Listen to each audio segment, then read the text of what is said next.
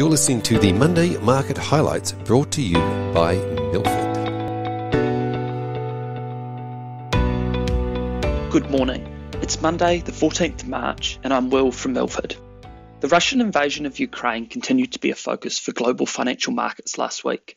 Commodities again saw large moves, with crude oil soaring to over 130 US dollars a barrel on the back of the US and UK moving to ban Russian oil and gas imports before settling back to end the week at $113 a barrel. Safe haven gold also broke higher, hitting 2,050 US dollars an ounce during the week, trading an 18 month high.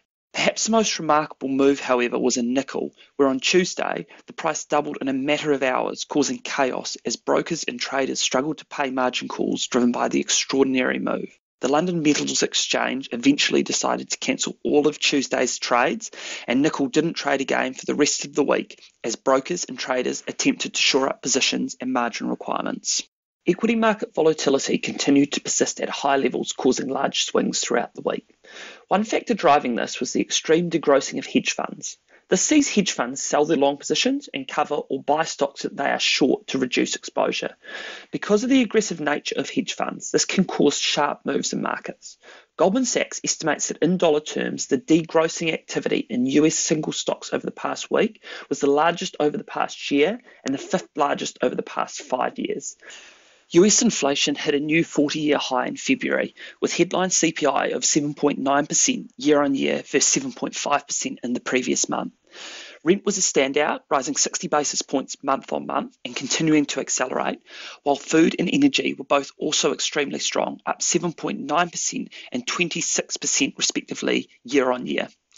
It's also worth noting that much of the recent spike in energy prices due to the Ukraine crisis would not be reflected in this data release, so it is likely we could see another record print in the next month's data. The European Central Bank surprised markets by accelerating plans to wind down stimulus, signaling that it is more concerned about inflation than the impact of the Ukrainian conflict on growth. Officials ramped up their 2022 inflation forecast to 5.1% from 3.2% previously. The bank will slow bond buying to 30 billion euros in May, 20 billion in June, and may halt the program altogether in the third quarter. It was, however, cagey about any subsequent rate hikes, but money markets are now betting on a 25 basis point increase in October instead of December. RBA Governor Lowe spoke this week on recent economic developments focusing on the current inflation and employment outlook for Australia. Lowe noted that while very low unemployment has surprised the central bank, falling to the lowest levels in a decade, they expect that this will continue lower still. The bank's central forecast is now for unemployment to fall below 4% and stay there into 2023.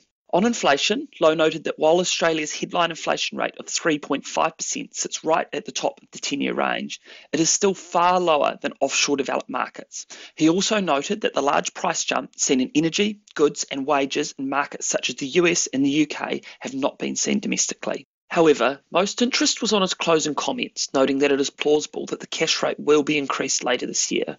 This is a change from his previous rhetoric that the RBA would not hike rates until 2023 and signals a softening in his dovish stance. Turning to stock news, Aristocrat Leisure provided an update at an investor roundtable held last week, addressing the concerns around its exposure to Ukraine and Russia. Aristocrat have thousand employees in Ukraine and have been able to relocate two thirds of these to safer parts of Ukraine or Poland. Beyond this, they highlighted they expected minimal impact to earnings and their digital development pipeline. The latter was a big concern of the markets, and we therefore saw a relief rally of 4% on the day. AGL Energy received a revised bid of $8.25 a share last week from the consortium led by Atlassian co-founder Mike Cannon-Brookes. While an increase from the initial bid of $7.50 to take the company private, AGL rejected the improved offer, stating that the proposal continues to ignore the value that AGL shareholders have through their proposed merger. It appears that this bid was fairly opportunistic, being drafted before the large recent moves in energy prices. Cannon Brookes tweeted to say that he would now walk away from the proposed takeout. Nickel Mines was caught up in the commodity rout during the week when it emerged that their largest shareholder may have to potentially sell down their 20% stake, which saw the stock end down 25% for the week. The stake is owned by Chinese nickel giant Tsingshan, which was reported to have suffered an $8 billion trading loss on short nickel positions, causing large margin calls from the London Metals Exchange. This caused speculation amongst nickel mine investors that Tsingshan may need to sell their stake to fund these calls. Nickel Mines released a statement saying that Tsingshan has given them assurances they are not planning to sell. However, this did little to allay market fears.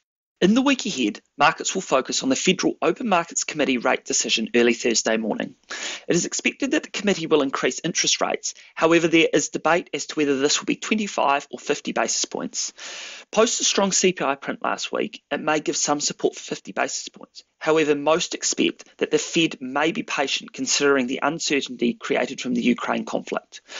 There will also be focus on the forward rate track for further hikes and any comments Chair Powell may make about impacts from the Ukraine crisis. The market currently has 1.6% of hikes priced for 2022, which would see the Fed fund rate at 1.85% by year end. The February Australian employment data will be released on Thursday. This will be a good measure to see how the labour market is tracking after the Omicron affected January data. Analysts expect the unemployment rate to fall to 4.1% from 4.2%. Thanks for listening. We'll see you next week.